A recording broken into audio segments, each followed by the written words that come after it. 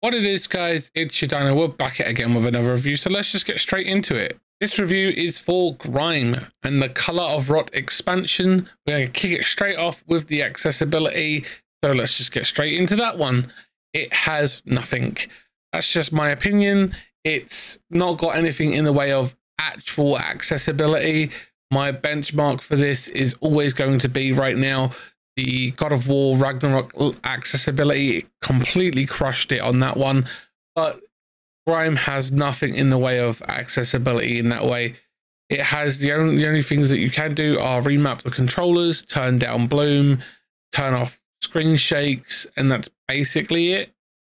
I don't think that that is anywhere near the level of accessibility that we need to be seeing in the gaming industry nowadays because Gaming should bring us all together so we can play together and have fun. That being said, I'm sure that there is a way that they could probably improve that by doing some update or something that will add those features in at a later date. Now, we will get into the customization of the game. The game doesn't have much in the way of designing the character, so to speak as you like build a character. It doesn't do that, not in the traditional sense. What it does give you, however, is the ability to customize the weapons you use and customize the glamours, for the back, lack of a better word to put it. You can put on three different glamours or cosmetic items as you find them throughout the world to change the appearance of Grime character that you play. I don't know what to describe him as. The anthropomorphic, no head having main character that you play. He has no head, obviously, as I said, and he's anthropomorphic. Doesn't really have a gender decide designed to him or her or whatever you want to call it. It's just a, a slab of meat kind of thing, and that's basically what it is. Now, that being said, I think that that is a good thing. The fact that the customization isn't based on gender and you can basically design the character as you want if you find the cosmetics. Now, when it comes down to the way that the game plays and its overworld, it is a Metroidvania styled Dark Souls kind of thing, a hybridization. And I don't think it's a bad thing gameplay is very well done, and I do feel that the game can give you lots of gameplay and fun and enjoyment. I do like the the color palette that was used in the game. It's really nice colors, and it lends to the aesthetic that they're trying to get across. That this is a gross, macabre kind of like macabre, destroyed kind of like refigured kind of thing that things aren't pretty and aesthetically pleasing. It's the underbelly, the gross, the grime kind of thing that it's going for. Yes, I know I said the name of the game again, but it's just the best adjective to describe what the the art style is with this. In my opinion, I do feel that they've done a very good job with the enemy models. They have got quite a different plethora of models you can attack and the enemies that you have to come up against. They've done a really good job in that aspect. The way that the game plays doesn't really lend towards telling you what you need to do. You're just dropped into this world and you have to just learn by doing. Now, there are games out there that do this in a good way, and there are some games that will do it in a bad way. Personally, I think that they've done this in a good way in this one. An example of them doing it in the bad way would be Scorn. Scorn just is a pillar of just badness, in my opinion. I've done a review of that, and you can check that out up there. And don't forget, guys, it's greatly appreciated if you do support the channel by hitting that subscribe button and ringing the ding-a-ling bell. Greatly appreciate. All links will be down below as well. You can check those out if they are available. Now, I don't think that they've done a very bad job in any aspect of this game. It just feels like certain things were not a focus. So obviously, accessibility wasn't a focus, in my opinion.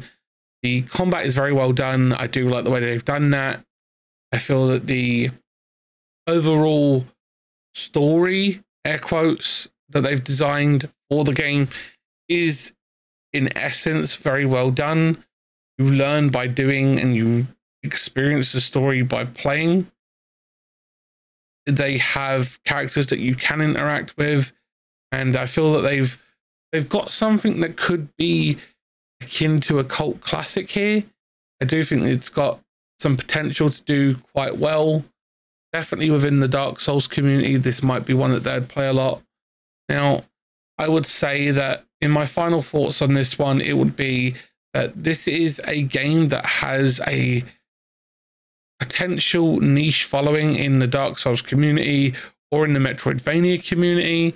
And I would recommend this to fans of either of those genres or to a content creator who likes those styles of games.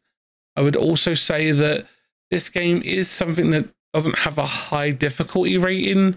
I found it quite easy to play through. It didn't feel like overly challenging. There was some moments where I did mess up, but that was through user error, not through the game being too difficult. I would love to have known more about the game as you played through. It doesn't really lend you to more of a explanative way of conversing with you, the gamer. You have to just stumble along and try and find stuff. I don't think that that's a bad thing, but I do feel that it is a missed opportunity to convey and connect with the gamer who is playing the game in a way that could help those less able to know what is going on. Now, my recommendations would be for the developers to create more accessibility features into the game via an update or an or a free up a free expansion called the accessibility expansion because gaming should bring everyone together, not isolate people. That's just my opinion. If I was to rate this game on a fun factor scale, I definitely would give it, say, a three out of five. It's middle of the road. Some people may like it, some people won't. It's just one of those. I do feel that they have some quirky, unique things about it that I enjoyed personally. That's just my personal preference. I know it's always going to be subjective for other people. But if you do have a difference of opinion, please sound off in the comments. Let's have a discussion about it. I really do like engaging with you guys and finding out where you stand on this one and what you enjoyed from it. If you have played the game, let me know. Or if you don't want to really go into much detail, leave an emoji in the chat, in the comment section. It helps. All forms of engagement are great for all channels. Don't forget, like, comment, and share. I greatly appreciate all the love and support. We are live on the channel six days a week, Tuesday through to Sunday. All links down in the description will be down there. And as always, guys, greatly appreciate all the love and support that you give to the channel. And remember, be safe, be well, have fun gaming or creating, whatever you may do, and have a good one. And I will see you in the next one. Take care. Bye, guys.